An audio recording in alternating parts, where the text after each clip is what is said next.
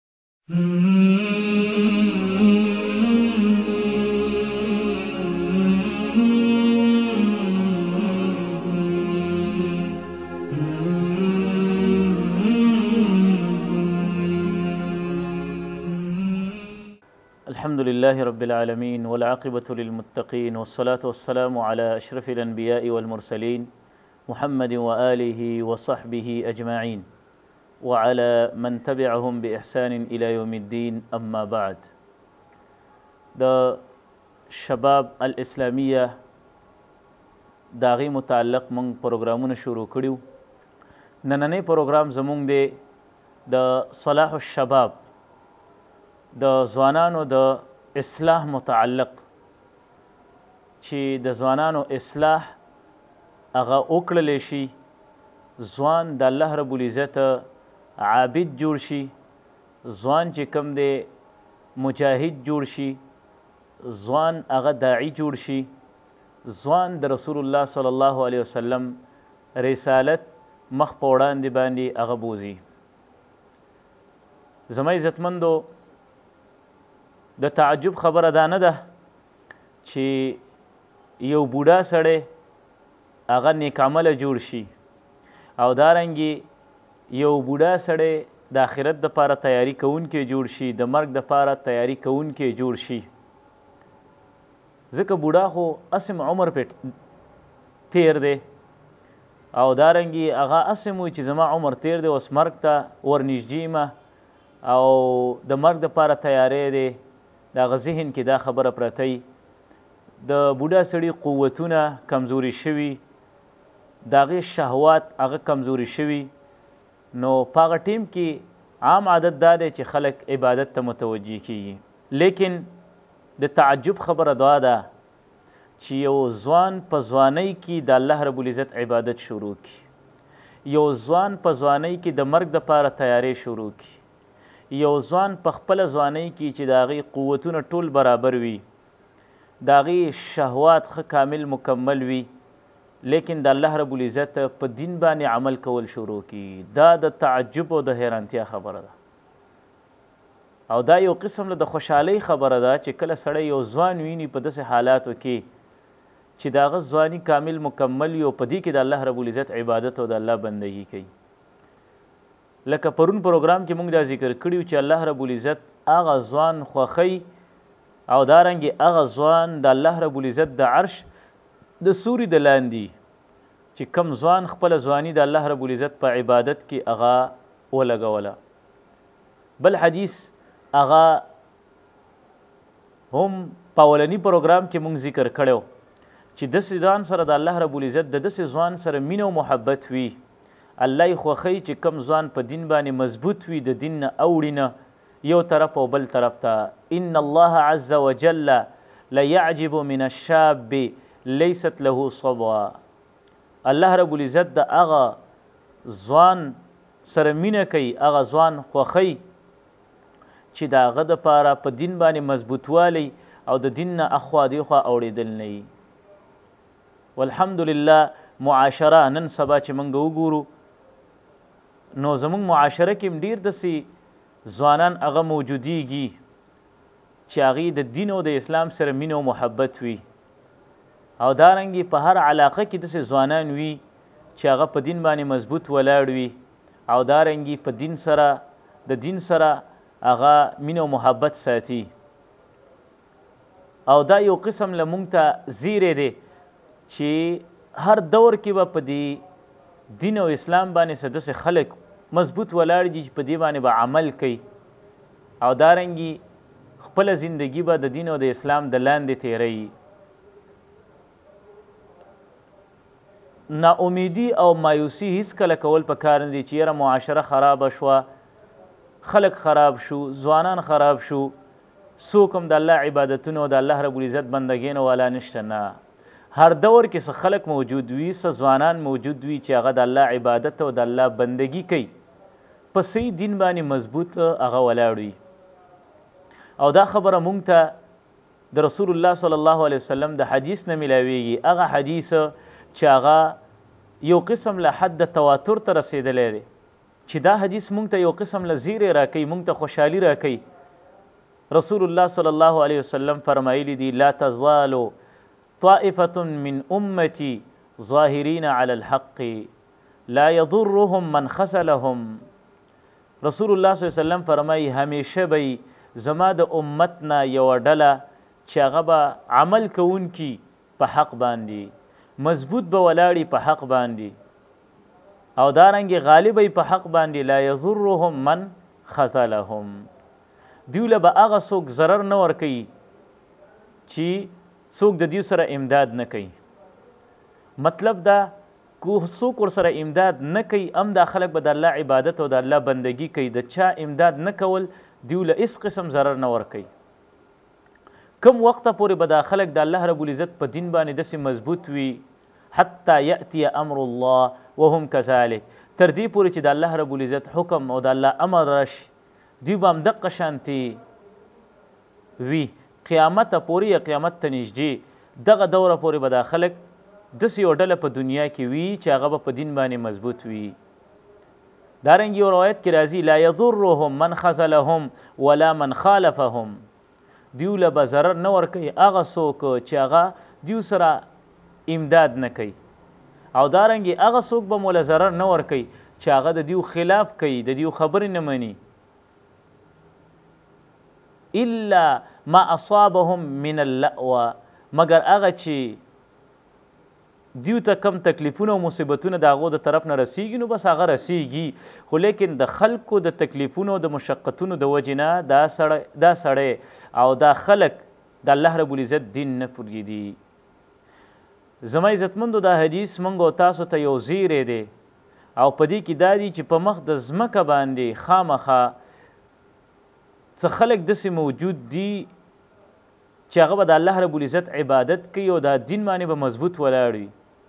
او دا خلک به کوشش کوي چې د الله رب العزت دین او اسلام هغه اوچت کی لا تزال طائفه من امتی ظاهرین ابه غالب ئی او دارنګی ابه د الله رب العزت په دین باندی عمل کئ حتی یاتی امر الله دا خلک چی دی دا څه لک خلک ندی دی حدیث نه دا معلومیږی او دا نه یو کس او دو کس دی بلکی رسول الله صلی الله علیه وسلم فرمای دا پوره قوم دی طائفه یو طائفه ده دا داسې طائفه ده چې د دوی به یو اثر وي، د دوی به یو تاثیر وي په یو بل باندې،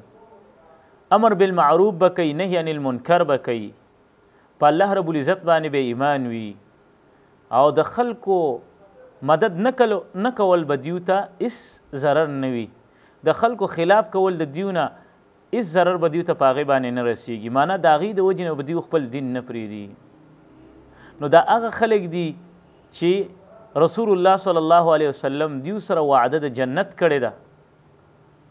چې دا خلک جنتین خلک به په هر دور کې د سیو ډله به موجوده او دا به جنت ته ځي جنت ته به ځي دا په کوم دلیل او دارنګه په کوم ځای کې راغلي دي دا هم یو حدیث کې راغلي دي صحیح حدیث کې ابو هریره رضی الله عنه دا را نقل کړی دی هغه فرمایي وی رسول الله صلی الله علیه وسلم فرمایلی وو افترقت اليهود على 71 فرقه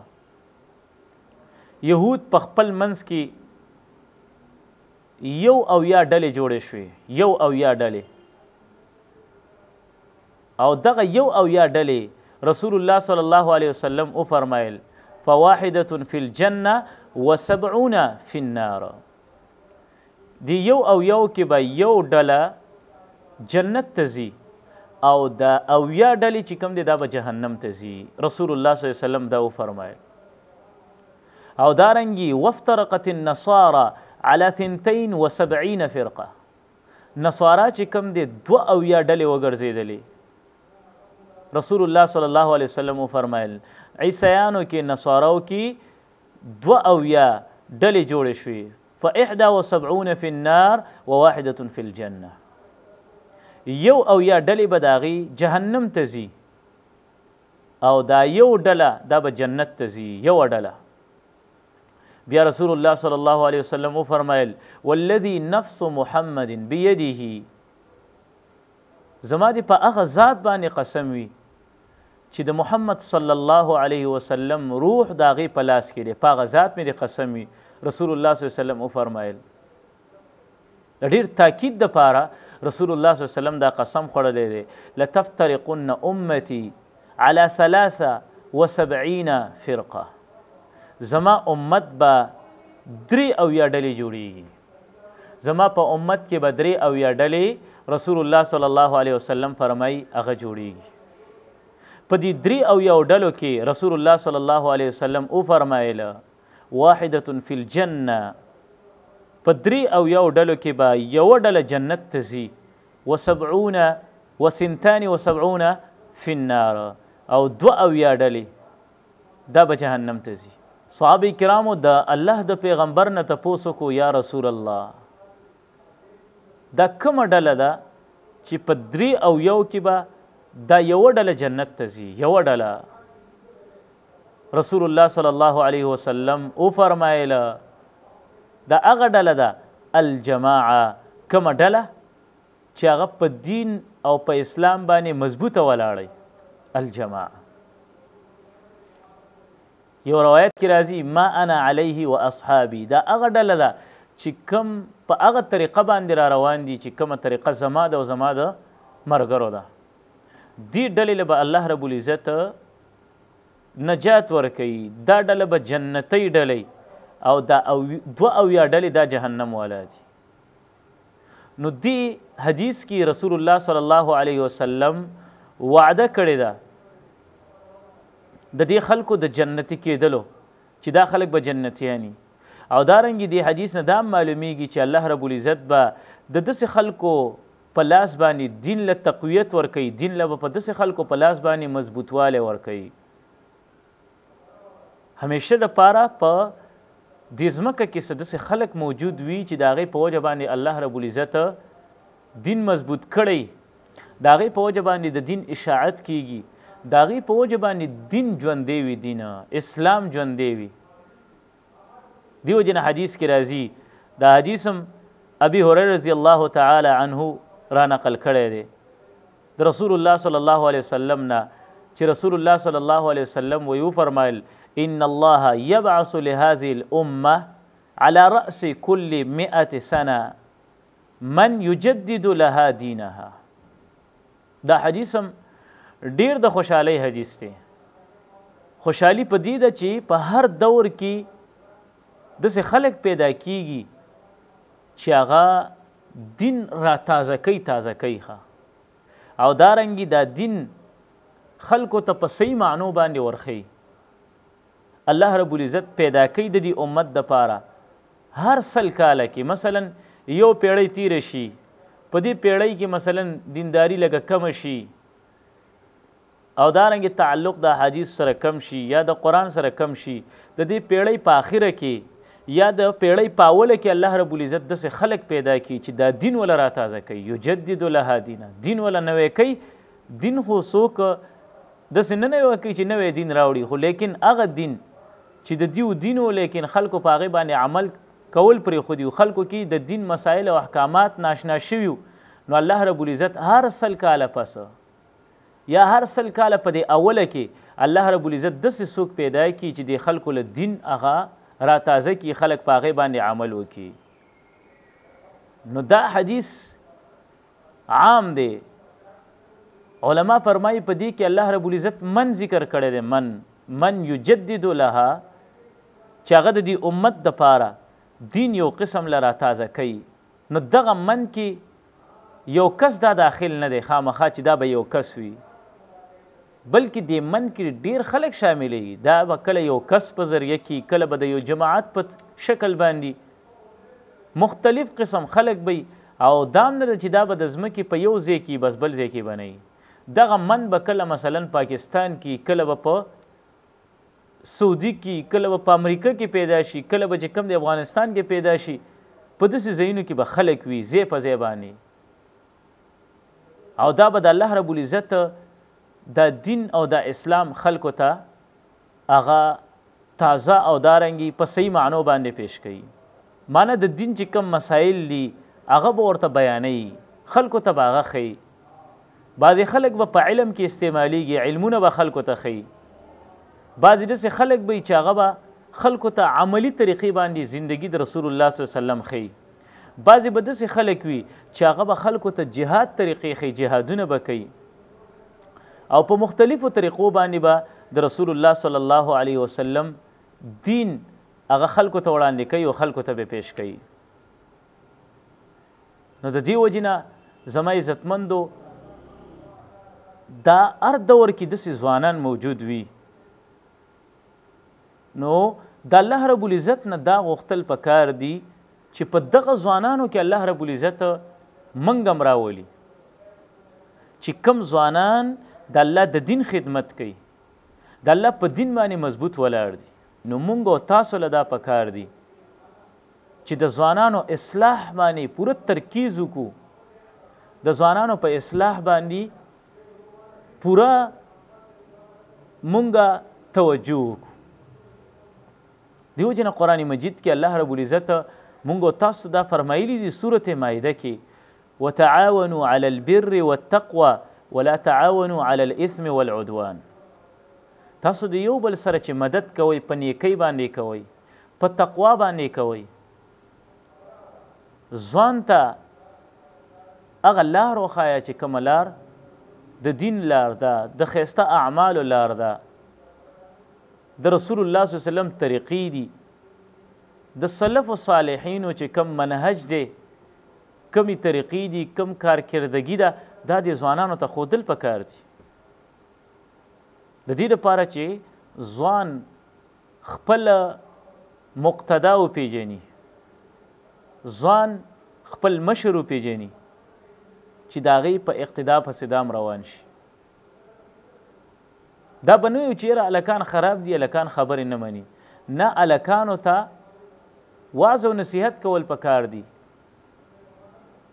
نن ورته واعظ او نصیحت وکا کو ټیک نشو سبا ورته وکا بل ورځ دی وکا یو ورځ به داغي په دې زړه کې یو ټک وشي ستاد دی واعظ او نصیحت نه الله رب العزت به برابر کی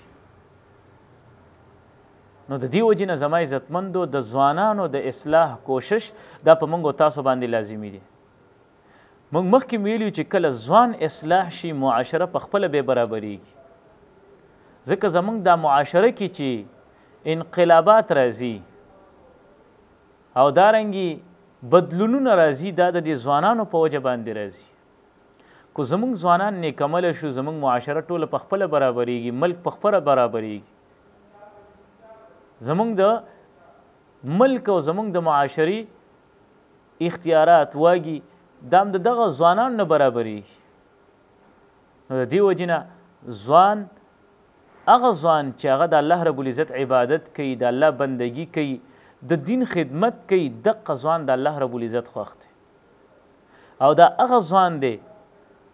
چې دا ځوان به د الله رب العزت د عرش د سوري د لاندې د قیامت په ورځ باندې نو د ځوان برابرېدل دا د معاشري برابرېدل دي او معاشره چې کله برابره شوه نو الله رب العزت به د انسانانو ناراضي کیږي الله رب العزت به خپل رحمتونه په دې معاشره باندې او په دې انسانانو باندې راوړي نو د دې وجنه په ځوانانو باندې ډیر توجه کول پکار دي او دارنګ ځوانان